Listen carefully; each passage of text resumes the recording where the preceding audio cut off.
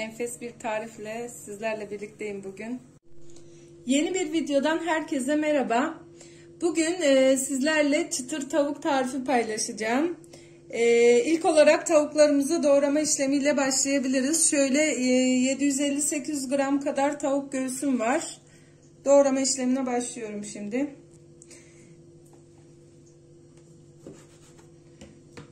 Şöyle e, parmak şeklinde doğramayı tercih ettim ben. Ne çok kalın ne de çok ince. Şöyle orta kalınlıkta doğramaya çalışıyorum. Şu şekilde.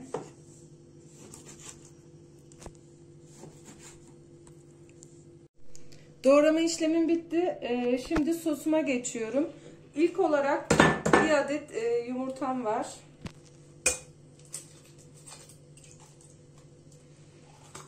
Bir tatlı kaşığı tuzum var.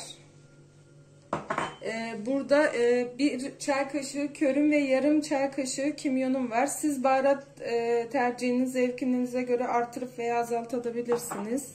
Çok baskın olmasını istemiyorsanız. E, bir e, çay kaşığı toz biberim var. Ayrıca bir diş e, doğram rendelenmiş sarımsağım var. Yarım su bardağı da sütüm var.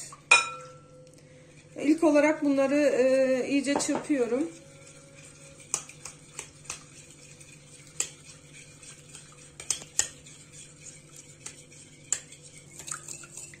Evet şimdi de bir su bardağı unumu ilave ediyorum.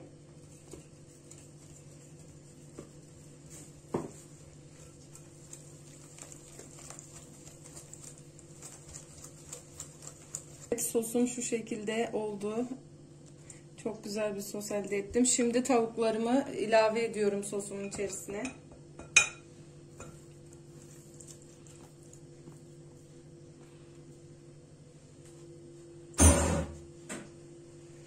Şimdi iyice karıştıracağım.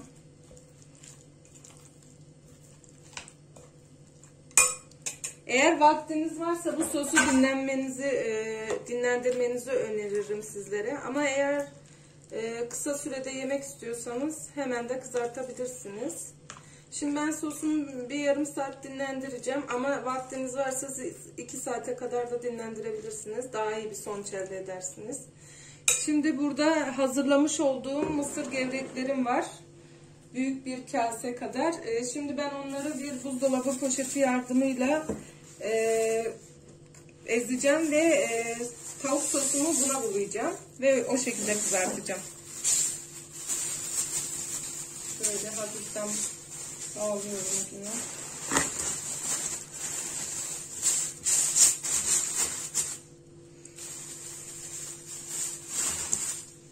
Evet. Şöyle oklava yardımıyla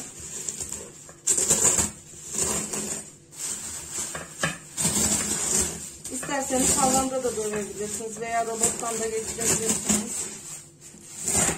Ben böyle daha pratik olacağını düşündüm ama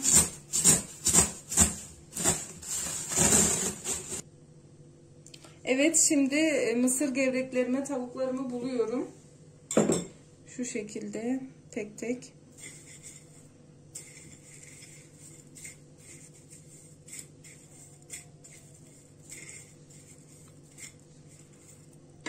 Buladıklarımı şöyle bir tabağa yardımıyla diziyorum.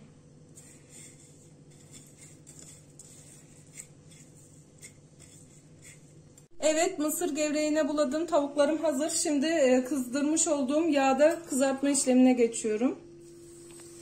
Yağınızın kızdığından emin olun bu tarz şeylerde.